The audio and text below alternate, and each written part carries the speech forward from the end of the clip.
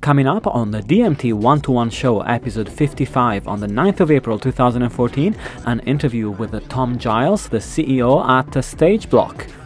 Hello, everyone, and welcome to the DMT One to One Show, the weekly show where we feature uh, some uh, fantastic new startups, but also established companies. Uh, and the show comes out every week. You can find it on digitalmusictrends.com and follow the links to the DMT One to One Show. And uh, this week, it's a real pleasure to welcome Tom Giles, uh, CEO at uh, StageBloc. So, hi, Tom, and thanks for joining us. How's it going?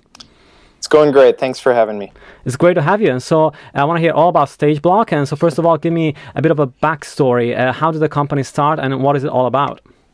Yeah, so StageBloc is an extensive self serve platform for artists to help them understand and engage their audience. And at the end of the day, own those relationships so that they can directly market and sell more effectively. Yeah. So, kind of the whole goal is just, you know, really helping people understand those fans, own the relationships unlike they do on Facebook and Twitter and so forth, and then be able to take advantage of that to communicate more effectively and sell stuff. Um, Yeah. And it kind of started out of my own personal background.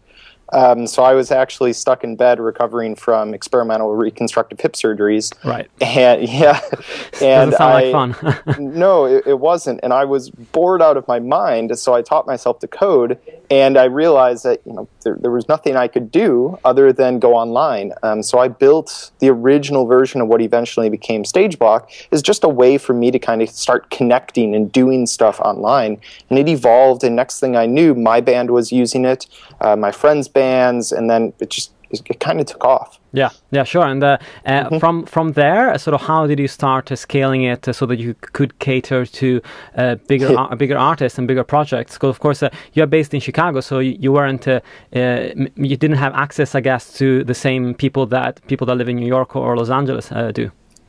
Yeah, the the location definitely didn't help in that regard, Yeah. um, but it actually it, it, it was quite nice because it allowed us to really focus on building the product. Right. Um, so for for a long time, we've kind of flown under the radar. So many people haven't heard of us, even though we've been working and have projects with Justin Timberlake and Kid Rock. You know, it, Eric Church, some some pretty big names. Um, but we've been able to focus on the product, and so for us, kind of how we did the scaling, how we've really built it out, was build up a really strong product team. So Yeah. here in the Midwest, we were able to find some extremely talented developers who love music just like I do.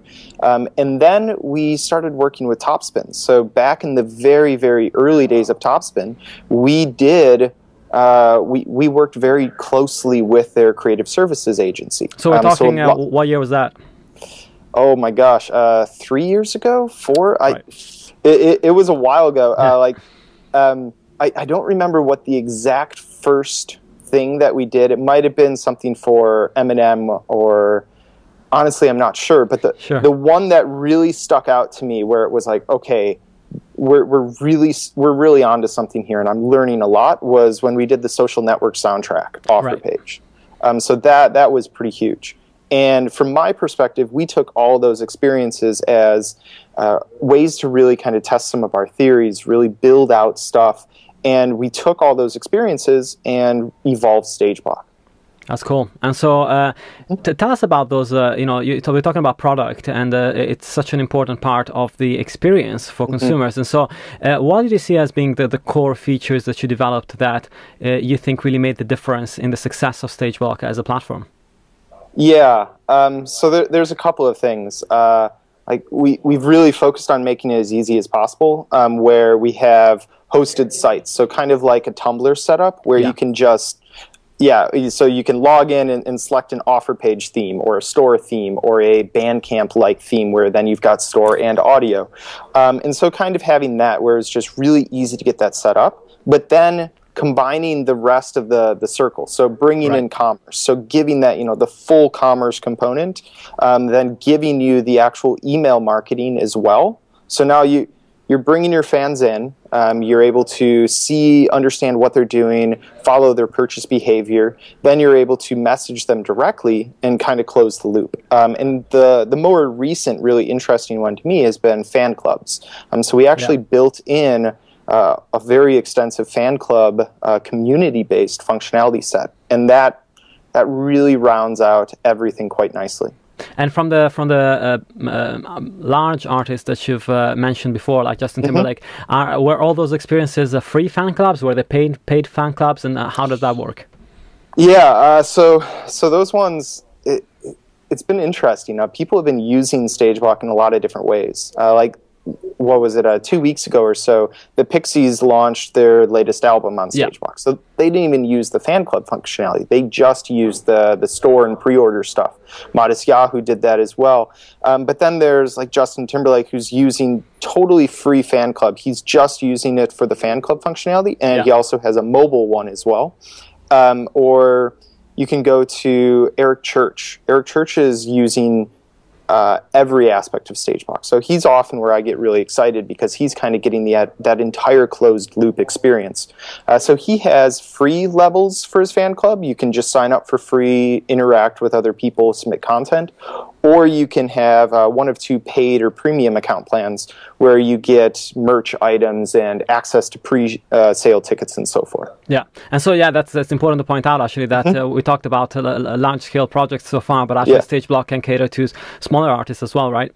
Yes, uh, yeah, that's so. My my dream is uh, for StageBloc to be end to end. You know, the entire tail and head of the the market. So really allowing, yeah, giving all the the the Pro Tool like functionality for people like a Justin Timberlake who can really dig in and use all that functionality, but then building it in a way that anybody can use it. Yeah.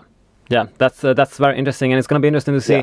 what kind of traffic you get as well in the next few weeks, given the strange uh, situation that's uh, happening with Topspin in the last uh, sort of ten days or so that's materialized. So, uh, yeah, yeah, it's I, I, I got to know a lot of people over there really well. Yeah. Um, so it's been been a little hard to watch that happen, um, but it, it, definitely has been strange and, and, interesting to watch from the sidelines. Yeah. Um, it's going to be interesting mm-hmm. to see how, how artists really re- react because now that we've learned that the two sides are going to be separated, then of course uh, artists are going to have to pick their battles and decide, uh, you know, how, how, how much they're going to trust the, the new product going forward. But uh, you know, I'm, yeah. I'm sure that they're going to do great stuff on, on, on their front as well. And looking at uh, sort of the the fan club uh, and the sales side of things. Uh, mm-hmm. How hard uh, do you push for sales as part of the fan club experience? And is that just a part of the site the fans get to explore, or is there any active way in which artists try and occasionally remind remind fans that they can actually buy stuff on the site?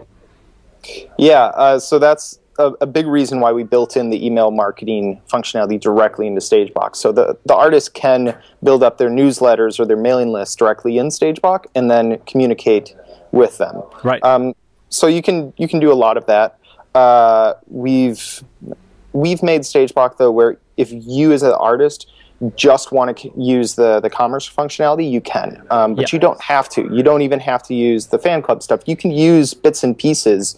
Um, it works best when you start pulling in more of that because then we can help you find relationships between the different actions and and connect the different services and really fully close that loop. Yeah. Um, but you can use it piecemeal. Yeah. Um, go ahead. That's awesome. I, I, was just thinking about fulfillment. You know, that's that's a big part of uh, of the issues that come when when you do uh, e-commerce uh, for bands. So, do you guys do any of the fulfillment yourselves? Is it left to the bands? How is how is that managed? Yeah, so we have a couple of partners that we've already uh, set up and been doing a lot of work with. Um, so we do have fulfillment partner integrations. Um, we ourselves don't do that, but we work so yeah. closely that it, it's a very similar setup as Topspin had. Um, and we're actually set up where we can integrate new fulfillers very quickly. So if people yeah. come to us and they say, hey, I'm working with this fulfillment company, can you integrate with them? We typically do that in know, a couple of days, so very fast. Yeah, yeah, sure. And uh, you know, if, if you're you know thinking about how artists are managing their, their presence these days, uh, there mm-hmm. seems to be a growing focus on uh, you know mailing list presence and direct uh, uh, fan access, especially as we're seeing a, a growing amount of uh, I guess grumblings towards Facebook uh, this week, especially we've seen a, bunch of articles around uh, reach, which is uh, uh decreasing uh, time and time again. And of course, you know that's Facebook's business model, but it might not work for artists uh, who have to keep paying to reach their fans. And so, on that front, do you see a, a, growing interest from the artist community to develop their own their own communities and, and, try and get out of that loop? Yeah, that that's been a, uh, something that we've been seeing a lot of interest in, um, especially because you know, you're spending all this time and money building up these fan bases on Facebook, and then you're you're having to spend even more time and money to reach a, a dwindling number of them. Yeah. Um, it just it doesn't make sense. Uh, so with the fan club stuff that we built up, um, we're actually seeing on average typical kind of post lifetimes of like seven days as opposed to Yeah. 30 minutes on Facebook. And we're seeing other things where you're able to reach, you know, on average something, you know, upwards of like 60% of your fan base, which is just obnoxiously large in Yeah. the industry. Um, so it's going really well for us in, in those regards. And yeah, there definitely seems to be a growing interest, especially within the past few months. Yeah, and uh, um, talking about the community, so how is that organized on, on the on the fans side of things? Because uh, uh, one of the uh, interesting aspects that I've, I've noticed over the last few months is that uh, I'd given the existence of uh, forums, for example, uh, as you know, dead in the waters Yeah. because of social networks, but that, that's not actually true at all because uh, there are a lot of uh, communities, niche communities here and there that still thrive on forums and uh, sort of internal uh, mechanisms of communication. So how, how do those work in in in, uh, in in the fan club? And have you seen those kind of phenomenons of fans getting together and actually starting their own thing uh, aside from the artist getting involved at all, at all in a sense? Yeah, and that's that's really interesting. A lot of our focus and most of what we've been seeing has been the artist starting it, and then the Yeah. fans rallying around that specific brand. Yeah, I mean, sure. so w- w- with kind of how we've set it up, is it's less about StageBloc. It's more about the artist uh, brand. They're they're front and center, and that. Th- there's definitely been a lot going on there. However, we have started to see a few other people um, just creating up fan clubs independently um, Yeah. of the artists and really engaging around there. So there's definitely an interest in the fans, and there's definitely a need from the actual artist perspective. And we're trying to make it really easy then to bring those components together in this just kind of total encompassing platform where you know, we, we look out and saw this fragmentation of you know, various different services. Um, everybody's using Facebook, Twitter, MailChimp, you know, all these different things we we're trying to bring all that into one place, one dashboard, where it's just a lot simpler and easier to do everything. Yeah, yeah, sure. And uh, uh, looking at also, you know, your board of advisors, uh, talking about that context, you know, Ethan Kaplan is one of your advisors as Mm-hmm. Yeah. well, and he actually started REM's uh, website. Yes. He sort of uh, on, on his own as a fan, and then ended up, you know, doing the website for them in, in the early days of the internet. So uh, that kind of stuff ha- can happen. It doesn't happen anymore that much because you know the artists are very well organized these days online, so it doesn't Yeah. quite happen as organically. But you never know. It's uh, it's one of those things that sometimes uh, communities take a life of their own, and uh, and uh, artists can come in and actually uh, take advantage of that sometimes, which is quite fun. Uh, and uh, so, uh, looking forward, what are you seeing as the major developments for the platform uh, for the next year or so, and what are your uh, core areas of focus? So some of our core areas of focus are starting to surface a lot more of the data. Right. So if we can be giving all this information back to the artists, you know, what what is your fan base demographics? Where where are their locations? Who's who are your super fans? What are their average values? You know, giving all this back, then we know that that'll help the artists themselves uh, be able to sell more effectively, be able to just you know run their band more effectively, and that then helps us, helps build the community. So for us, that's a big deal. Is Yeah. giving all that data back, making it as easy to understand as possible. Um, so that's that's kind of the first one, and then the second one that goes very much along with that is really building out even more robust messaging functionalities so that once you understand who these fans are, once you uh, know all this data, you can set up automated emails. You can do a whole bunch of different things. Um, th- that's that's kind of the two main focuses. Yeah. Uh, we'll also be doing a bit more in the mobile space. So we've got a couple of different apps coming out Yeah. that really extend the total experience with uh, StageBloc. And again, providing as much of it as we can for free, um, because you know, as musicians ourselves, we we kind of understand how that game is played. Yeah, and is it getting better on the on the mobile front uh, uh, uh, to actually process a purchase on, on your end? Uh, is is it still a bit of a pain, or uh, have you have you seen improvements on that front? Um, you know, with, with Apple uh, taking thirty percent, it, it it adds a couple of hoops that you have to Yeah. jump through. Sure. Um, so there's there's ways around that, and you know we're working on that. Um, I don't know if it's gotten any better, and I Yeah. don't know if it's going to change. uh, but we're certainly doing our best. Yeah, exactly, and uh, yeah, it's kind of it's kind of a, a shame that uh, for all the progress that we've we've made, it, it still feels like the the easiest way to pay outside of the Apple ecosystem is using something like a PayPal or something like that right now because people know their login details and they can just enter that and log in. But uh, at the same time, that takes a big cut, so it's not it's not a fun thing to watch if you have to implement that kind of thing because uh, Yeah, it's uh, where a good chunk of your pie going away.